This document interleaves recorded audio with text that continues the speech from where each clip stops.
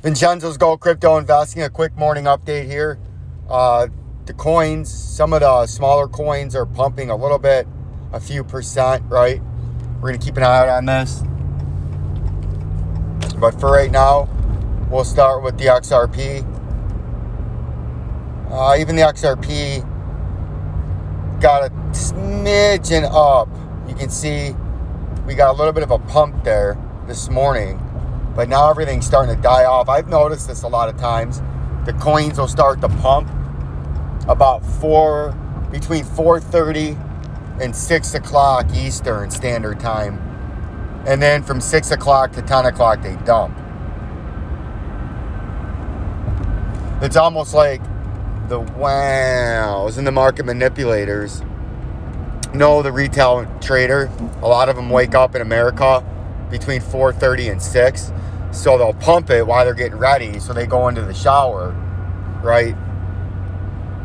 And so they just panic buy. And then by the time they get out of the shower, they're already 10% down. And they're like, what the fuck? Because they, they had to go in the shower. They couldn't watch the, you know, the market. They couldn't watch the fucking chart, you know? So they get fleece heisted and shisted. So right now, we're going to start in a three hour time frame. And you see we're below the 200 day moving average and green right, with our industry exclusive perching tool and a pointer to show you what the fuck I'm talking about. 200 day moving average in green right there, downtrending, blue, uh, 100 day, red, 50, all downtrending. Those are bearish. When they're downtrending like that, usually they act as overhead resistance until you get a bottoming pattern, right? And right now, I don't think, I mean, you could say we're trying to form a little bottom, but we're coming up to the 100 day moving average and this is uh, judgment day or judgment day number one. If you get rejected again you already got rejected once went down and got supported by the uh, 50 day and then come back up to the 100 day again. If you can get above that you're gonna make a run at the 200 day and that's what you need to get above to be bullish right? But right now uh, the volume is very low but if the volume's low and it comes in buys it can bump the price right So that's why we start from a far out time frame and then we work our way in real quick to the 30 minute time frame to get a little bit of a better close up look by the minute chart uh, to give you a super simple, easy way to trade this manipulated market to profitability, right? And you can see here's how we're going to do this in the 30 minute if you want to get bullish, right? You got to zoom out. The fuck are the moving averages at? Maybe I just hit them on accident. Uh, who knows? Oh, they're underneath it. But what you got to do to get bullish, you're above it in the 200, or you're above the moving averages in the 30 minute, so that's bullish in the 30 minute, bearish in the three hour, right? You need to stay above that 200 day moving average, but it looks like we're starting to top out and run out, but you need to stay above that and make a run up here to that $1.06 that we talked about the other day. You need to trade up and then reload on a consolidation, a down and sideways to kick back up, right? That's what you need to try to get bullish. So, but right now that's bullish that you pumped off the 200 day, but you're getting back to that high you saw a few hours ago, and it looks like you may be running out of steam. And if you do, you're going to start trading back down. And your first underneath target, if you get below the moving average, would be down here, and then 92 cents, right? So that's what to watch out for in the XRP in this morning update, right? As we traverse down in interstate central Illinois, right? Where there was no snow. There was snow at home, and then it snowed again right after I left. So we've had about six inches of snow in Detroit this year already. It's not even December yet. And how many inches of snow in central Illinois? Inches? We haven't even seen a fucking flake of snow. Don't fucking snow. It's the snow desert. It gets cold. After every storm, the cold air floods. But the mild air comes out ahead of every storm, and the snow is always just north, where I live in Michigan. But since I'm not there, you know, the fuck does it matter, right? Bullshit. Just fucking hellhole desert. Oh, the Quant. The Quanta, right? We haven't talked about the old Quant in a minute. We're in a downtrend, right?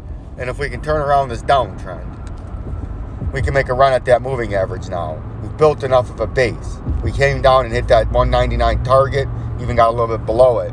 Now, if you want to get bullish, you can try to pump up to this moving average, right? We've been suppressed long enough. The quant, you can try to trade into that moving average right there. If not, you're going to come up to the 200, the 100 day, and you're to flush way the fuck down, all the way down to this shithouse, right? $38. We've been telling you it's coming back there, but we might have went down enough to get a little bit of a pump, right? Because we've been beaten the fuck down in the quant. And you can see we're right on the 200 day in the daily time frame, and that's why we had that circle there on a long-term target from when we got flushed back there, right? Now, moving on to the XLM. The XLM has been coming down like we thought it would.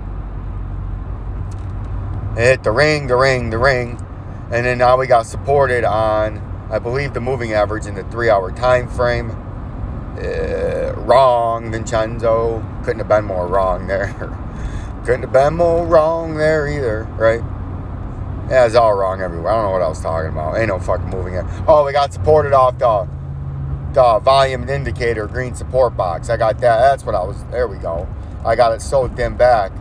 I didn't even. That's what I was thinking of. Look at that. See that? Watch. Bam.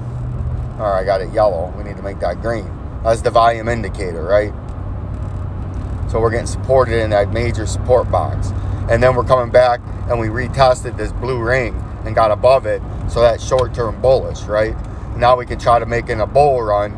You come back down and you back test this, right? That's why we had that moving average. We drew up there where it could be into the future. And now we're into the future. And it's running up against the moving average that's in the current time frame. And now, oh, the fuck is this man? This fucking Fugazi, right? It's fucking Fugazi. It's jabroni getting in the way. But you come back and back test and then kick back up and get above the moving average, and that would be bullish, right? But if you're going to get bearish, you come do the same thing and then you flush, right? So that's what we're going to watch out for in the market today. Subscribe, it's free.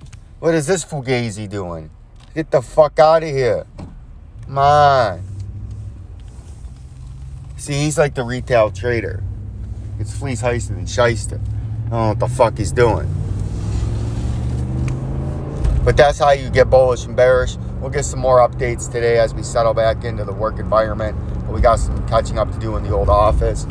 And then we'll get to some updates. Like, subscribe. Peace and love. Peace and love.